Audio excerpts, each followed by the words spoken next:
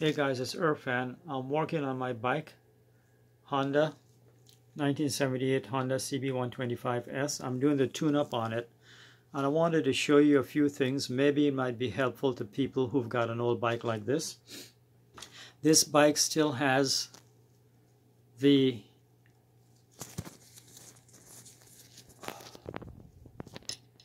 breaker point system, right, which you have to set the point gap and set the time in. Anytime you change the point gap, you're going to have to do the timing as well. So I set my point gap, the, the manual calls for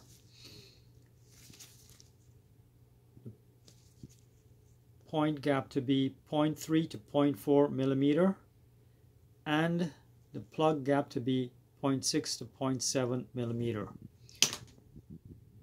that's the plug. I took the plug out to make it easier to turn it with the compression.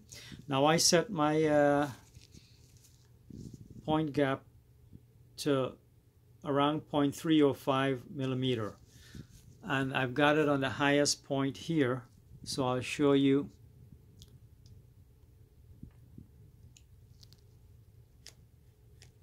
there see that's around 0.3 to 0.4 now to get this highest point on the cam, right, that's the cam, to get this highest point, what I found out is on the flywheel down here, which is below the engine and on this main body here, if you look closely, you'll see it's got around here, it's got different markings. Now you see this zero right here? I found that that one is where I get the highest point on the, uh, the, the cam and giving me the highest, the biggest opening on the point gap. So what I did, I'm using this here. I got my two ratchet sets. This one here for that, which I don't really need. And I got this here, which this is a ratchet that broke. And some of the guys welded it for me so it doesn't ratchet anymore. It's, it's you know, solid. This here is... Uh, wait a minute. I'll show you this. I think it's a 14 millimeter.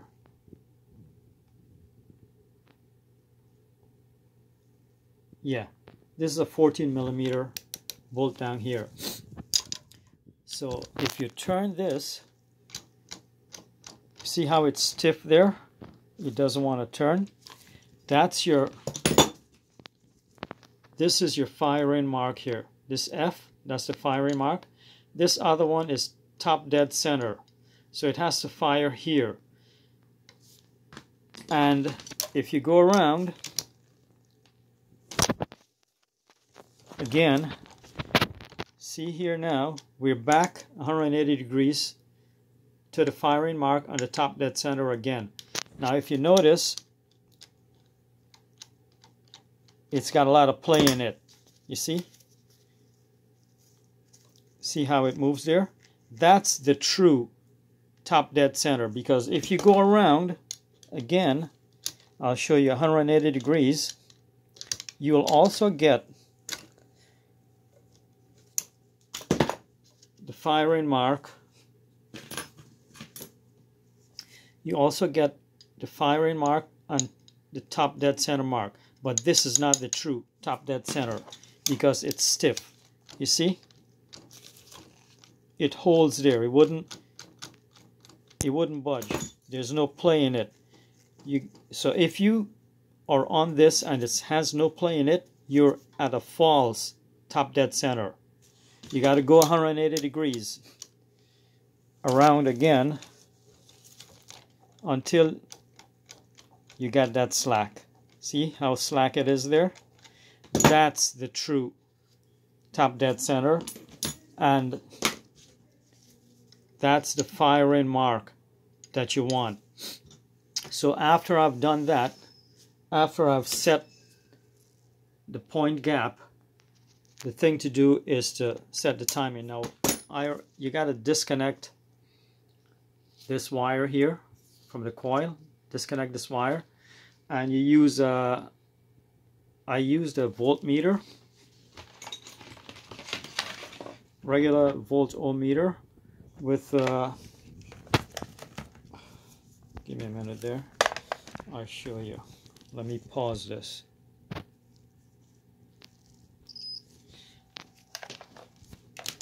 I used a regular voltmeter with this function, the zero function, so I could hear. I already did it.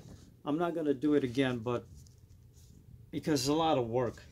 You know, what I wanted to show you is coming up next.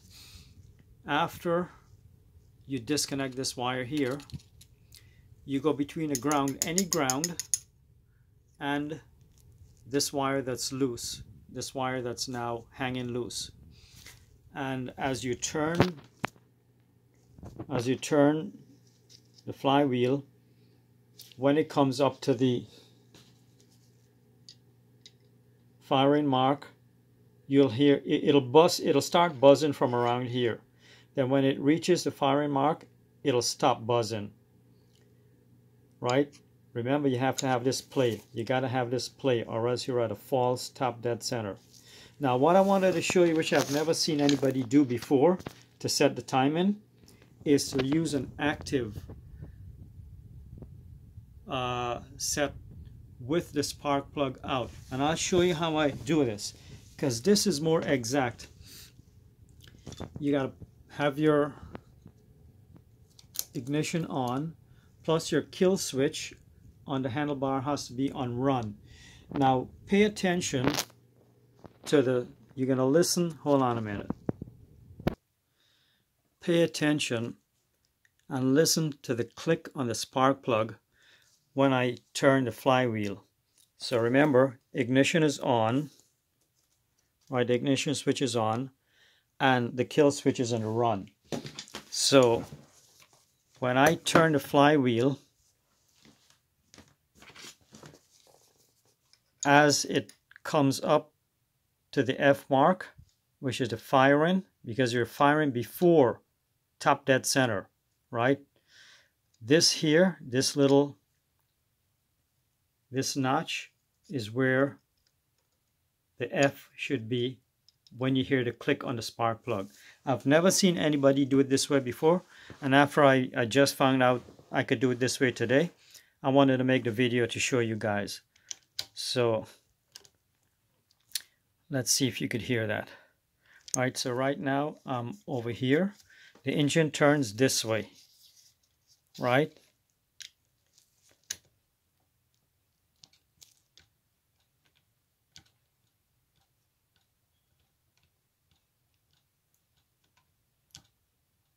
I don't know if you could, oh, I got to ground the spark plug. Hold on a minute. Forgot about that. Okay. I've got my spark plug grounded out there on the engine. That completes the circuit. So now pay attention. You're going to have to listen. When, when I rotate this, as this F mark comes up in this groove, you're going to hear the click on the spark plug. Let me just show you that the spark plug is working. I'll just bridge out here.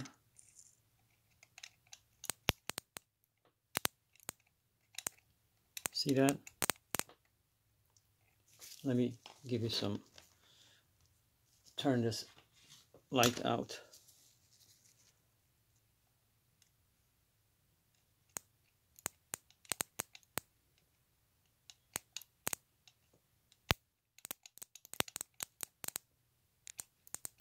There.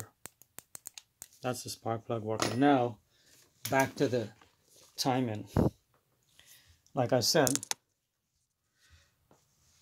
when I turn the flywheel, listen for the spark plug as this F comes up on the on the mark. I'll see I need clearance here to you see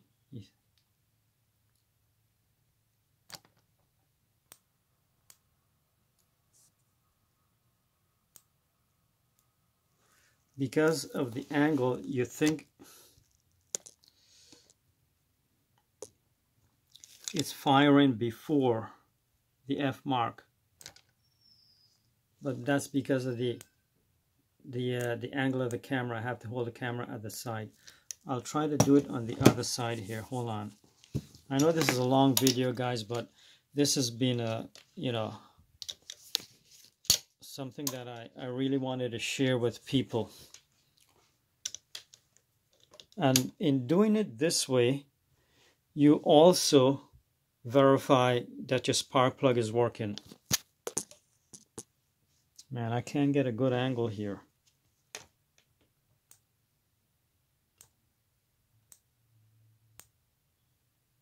The focus. All right, that's the focus there.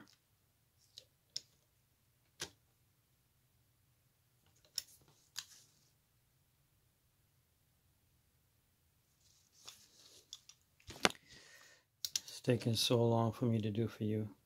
Uh-huh. There, you hear? See that? Right on the F mark. So, I've verified that it's firing on the firing mark, which is a little before top dead center, I could verify that my spark plug is good and working. And also the other thing I wanted to show you um, was, heck, this here, got this, and the point gap. Wow, hold on a minute. Oh yes, now I remember what I wanted to show you. On on this here, right? If you want to adjust the timing, you got to slacken this here and this. You slacken these two and this plate moves like with this here. This is your zero mark and that's where you could advance and retard the timing. Alright guys. That's what I wanted to show you that I've seen a lot of videos on YouTube how to do your timing but I found out for myself now and I'll show you one more thing. If you, you listen to the click for the spark plug right? When we were at the firing mark on the top. That's and you see how I could turn that with my hand? Now I'll show you it will not spark when you're at that false top dead center 180 degrees around. So I'll turn it around for you. See an arrow there? See that arrow? That shows you the direction of the engine turning. So I'll bring it around. Here is here we at the we were at the same firing mark and top dead center. But now it's very stiff. It holds, you know, it holds in position. It has no free play. So if you listen, there's no click. There's no spark because that's a false top dead center. That's very important when you're doing your tune-up. So I'll bring you back around again. Here, you, you hear that click? There? There. That's the spark spark plug sparking all right so i hope this was useful for you guys with the old bikes. Um you know on this here this felt washer you see i had to make this myself from some uh, I, one of my previous videos i showed you. Uh, it's still holding up but I notice I got to oil it up a lot every 100 miles oil it up and put some uh, I, I got this here. Permatex tune-up dielectric grease. That's this. I'm using this as well as regular oil. I soak this up with oil and I put the lube, the uh, dielectric grease on the cam because I don't want this thing burning out. It's, you know, it keeps um, getting too much friction. All right, guys, turn my ignition off. That's what I wanted to show you about the bike. If you got any questions, you know, ask me. I'll try to find an answer for you. I hope whoever's got an old bike like this, you keep it going. This is part of our history. Thank you very much for watching. I hope you enjoyed it. I hope it was uh, helpful for you. All right, now, goodbye. Uh, 1978 Honda CB125S. Right now, I just turned over 12,000 miles on it um, this week. Every 500 miles, I do my oil change because it's cheaper, just five quarts, five dollars for a quart, and it's one quart, so it's not much of a big deal. All right, now, bye.